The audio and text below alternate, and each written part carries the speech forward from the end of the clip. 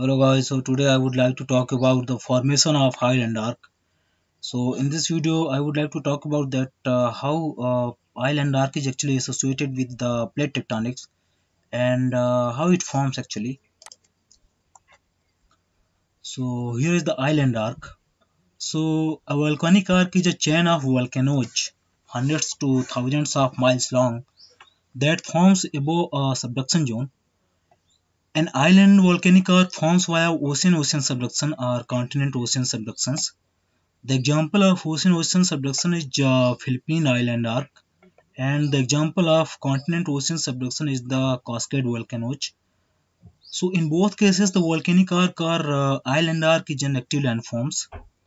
So as you can see, this is the Philippine Island arc, and uh, this is the dotted uh, island arc where you can see many volcanic uh, vent or uh, uh, volcanic uh, island so volcanic arc is actually active landforms which is erupting continuously and making new islands So here is the formation of island arc.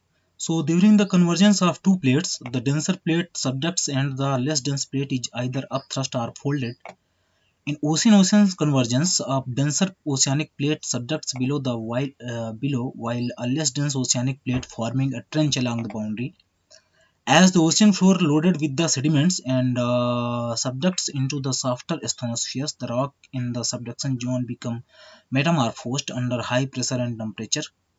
After reaching a depth of upper mantle, the plates melt. Uh, magma has lower density and at high pressure, it rises upwards due to the buoyant force offered by uh, surrounding denser medium.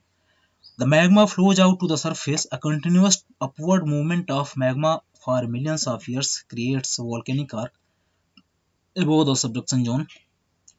Such volcanic landforms all along the boundaries forms chain of volcanic uh, islands which are collectively known as island arc.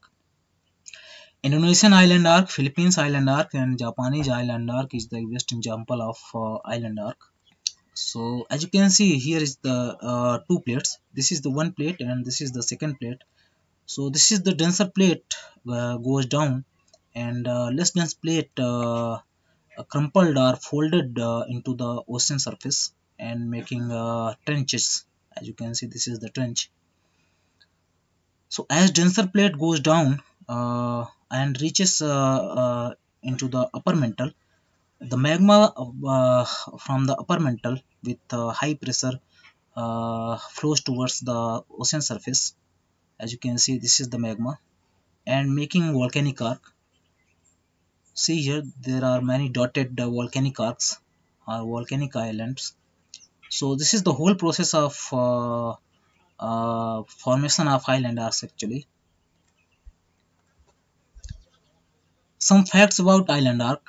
So the arc is convex towards the ocean and concave towards the continent with a deep trench running parallel to the arc along the convex side.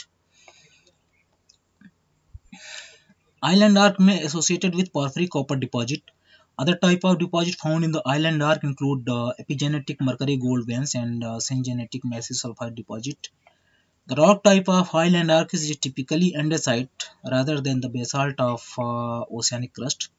Andesite forms by partial melting of basaltic crust and oceanic sediments as both are subducted into the trenches. Thus, the volcano, uh, volcanoes is uh, composed partially of melted basalt and partially of melted sediments, a combination that has the mineral composition of andesitic, uh, andesite rock. The ring of fire is an uh, island arc or a chain of island that uh, forms as the result of volcanic activities. Orogenesis or mountain building is much later stage of island arc.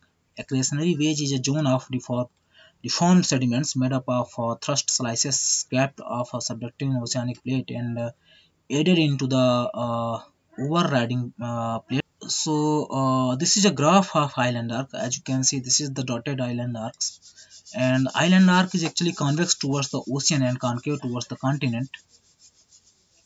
And uh, towards the ocean, there are deep trenches actually here is the example of island arcs so this is the philippine island uh, island arcs and this is the japanese uh, island arcs as you can see